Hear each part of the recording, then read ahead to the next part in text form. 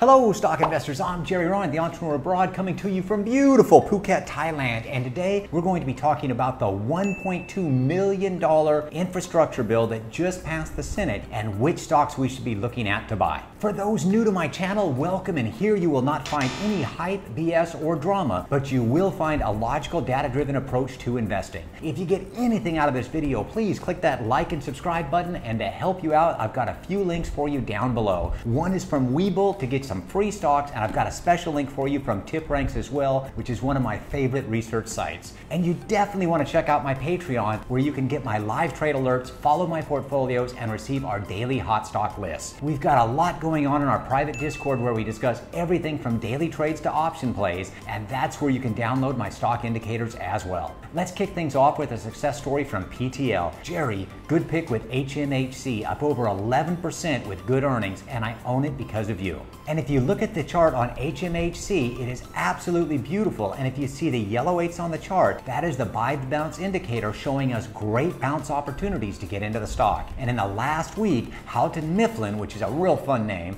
is up 16.5%. You can get the trade alerts and buy the bounce indicator in my Patreon if you are interested. All right, now's the time to grab a huge cup of coffee and hang on because this is not your normal stock channel.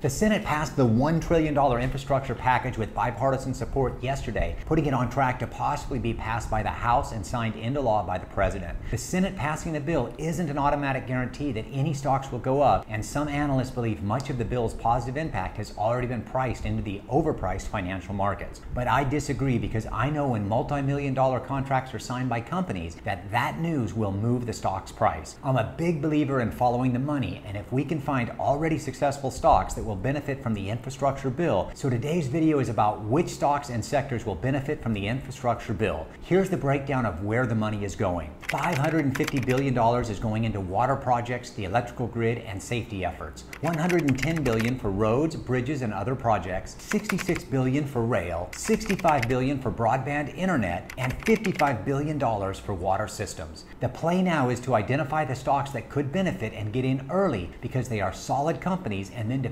patiently wait for the stocks to go up. We want to get in early for the right stocks and then reap the rewards later. All of the stocks I'm covering today were up yesterday with a trillion dollar infrastructure bill passing the Senate. Is that a coincidence? Maybe, but whether it was a coincidence or not, all of these stocks are possible infrastructure plays. Our first stock to consider is ChargePoint Holdings, ticker CHPT. And Biden originally wanted to build 500,000 electrical vehicle charging stations in the U.S. by 2030. And ChargePoint, they build customized charging stations. They've been in business since 2007. They've delivered more than 90 million charges, and they claim 60% of the Fortune 500 companies are their clients. Now, looking at the charts here, we can see they were coming down and going sideways. I would personally wait for this stock to firm up, and I'd want to see that 20 day moving average cross over the 50 day moving average and see an uptrend like this start again. Time is on our side. We don't have to be in a hurry. Other things I can tell you right now, these guys do have a squeeze alert going on, which we like, and they've got clear momentum to the upside. So if you wanted to be in early on this, you could consider it now. Our second stock to consider is Cleveland Cliffs, ticker CLF, and they're the largest flat rolled steel producer in North America. And flat rolled steel is used in industries such as automobile, domestic appliances, shipbuilding, and construction. And it's just a no brainer that if there's a big infrastructure bill like we have now, steel producers are going to be a benefactor of that bill. And Cleveland Cliffs is a stock that I've played frequently in the past, and we've done very well with it. And if we look at it, we can see it's in a real nice upward trend. We can look at our TOS POS bar, which you can grab from my private Discord if you want. Everything is green, which we love to see, and they've actually got some crazy gains going on. In one week, they're up 6.7%, one month, 12.7%, six months, 63%, and oh my goodness, in one year, they're up 331.5%. Next up, we've got John Deere, ticker DE, and this is another company we know well and have done well with in the past. And John Deere, they make a lot more than just tractors, and they are a major producer of construction and forestry equipment, and specifically equipment used in earth moving and road building. They've got infrastructure written all over them. They're currently starting a real nice upward trend. We've got the 20 day moving average over the 50. We just picked up a JR1 buy signal, and then yesterday they had a real nice up day as well. Looking at our momentum dream indicator, we are in a nice buy zone. And look at our MACD indicator, we are positive and everything is looking good on this stock. Number four is Eaton Corporation, ticker ETN. They're up 2.8% on the week, and Eaton is a major supplier of electrical components and systems and part of the big infrastructure picture. They're also really big in wind and solar farms, and these will need to be integrated into the national grid, and Eaton could be a huge benefactor in an infrastructure play. Now, let's take a look at their chart, and this is what we love to see a nice set of railroad track, all pointing up, exactly what we want. They also pay a 1.8% dividend yield. Their trail stop is only 4%, which tells me this is a very non volatile stock, and that's something that I love in this current market. And then if we look at our momentum indicator, we are in the buy zone. Everything is looking good on the MACD as well. And if we look at earnings, they were estimated at $1.55 and they came in at 172, so they're beating earnings as well. Definitely a play to consider.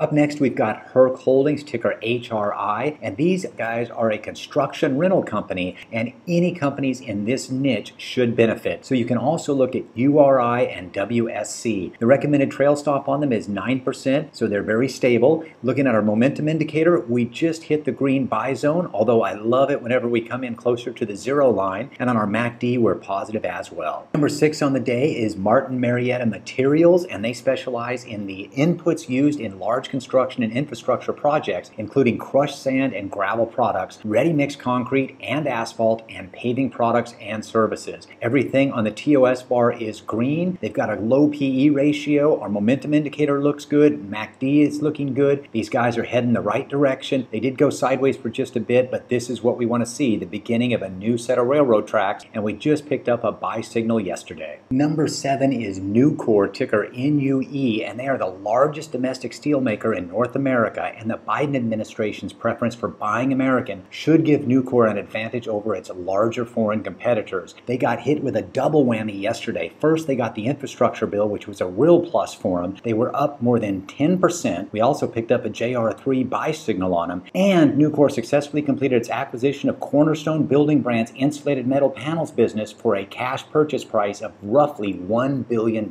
This is probably the safest play from today's 10 stocks stocks, in my humble opinion. So definitely check these guys out. They also pay a 1.4% dividend yield, and their volume is up 95%. And check out their trail stop, nice low 9%. Number eight is Rexnord Corporation, ticker RXN, and this is another example of a fundamentally strong company that's doing really well. In one week, up 4.5%, one month, 12.6%, and come across six months, 44.9%, one year, 88%. So these guys are just rocking it out on a steady basis. And Rexnord's water management provides plumbing components and related accessories for commercial, industrial, and here's the big one, municipal and institutional settings. So they're perfectly set up for an infrastructure play, and they're already a very successful company. Number nine is Vulcan Materials, ticker VMC, and if you expect to see a lot of roads paved or repaired in the coming years, VMC is America's largest producer of construction aggregates, which includes things like crushed stone, sand, sand, and gravel. They are